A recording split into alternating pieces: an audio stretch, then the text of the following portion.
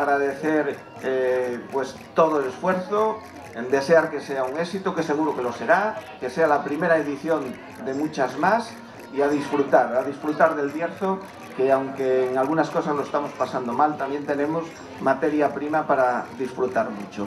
Buenas noches y disfrutad de, esta fiesta, de esta fe. Y a que mañana os animéis a todos los vecinos para que vengáis para que vengan a disfrutar de esta fiesta. Gracias y buenas tardes a todos.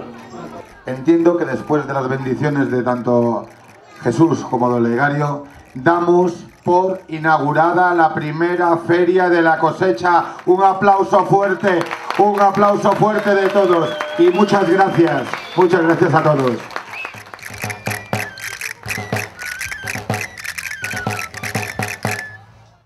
De la primera feria de la cosecha aquí en Puente Bueza, en un lugar absolutamente excepcional, Mm, con, un gran espacio para los expositores, con un gran espacio de aparcamiento, por lo tanto mm, todos son comodidades para la organización y también para la gente que quiera venir, por lo tanto animar a todo el mundo a que hoy, mañana, pasado se acerque a, esta feria, esta feria que como digo es la, primera vez que se celebra, esperemos que, que sea una feria que se consolide porque tiene en realidad todos, eh, todos los elementos para que así sea. Promoción de, nuestros productos y en un, lugar eh, pues absolutamente adecuado y auténticamente espectacular. A primeros de año, más o menos, una vez se presenta en el ayuntamiento el amigo Luciano, el amigo Luqui, y nos plantea la necesidad de esta feria. Y yo creo que desde el primer momento le hemos dicho, tanto mi compañero Iván como yo, que adelante, que nos parecía una idea espectacular. Lo que pasa es que este año trabajábamos lógicamente con desventaja. Es decir, no sabíamos qué es lo que iba a pasar, con qué situación nos íbamos a encontrar por el tema de la pandemia. Por lo tanto, tuvimos que ser muy comedidos, y, lógicamente eh, sin arriesgar demasiado porque, insisto, no sabíamos en qué situación podíamos estar.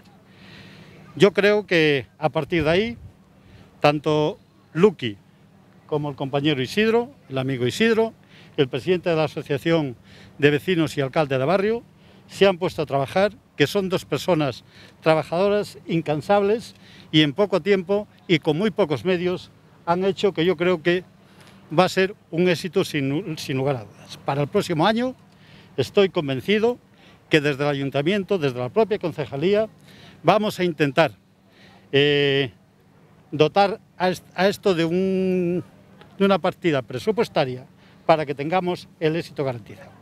Hemos eh, expuesto el proyecto de la Feria de la Cosecha, un proyecto que, ya se había hecho. Nosotros hemos cambiado un poco el formato, hemos añadido eh, otro tipo de, expositores, hemos añadido música y hemos añadido mucha actividad para los niños. Con esto quiero decir eh, una sola cosa, eh, la feria de la cosecha viene para quedarse. La fecha de la cosecha es buena para Ponferrada, es buena para el turismo, es buena para nuestros productos. Y repito, la feria de la cosecha viene para quedarse.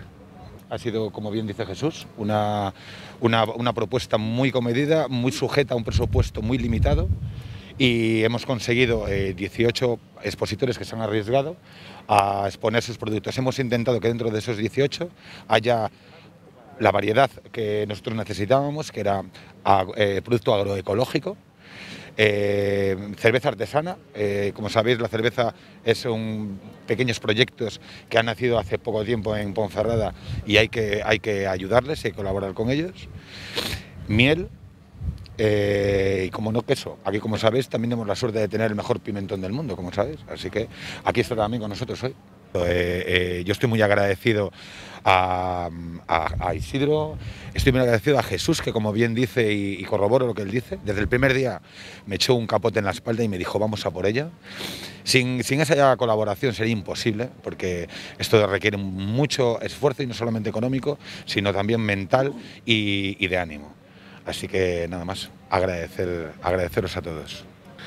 Simplemente deciros que cuando Lucky me propuso hacer esta feria, Yo cerré los ojos, hablé con mis compañeros de la Asociación de Vecinos, porque aparte de ser alcalde de barrio, soy el presidente de la asociación.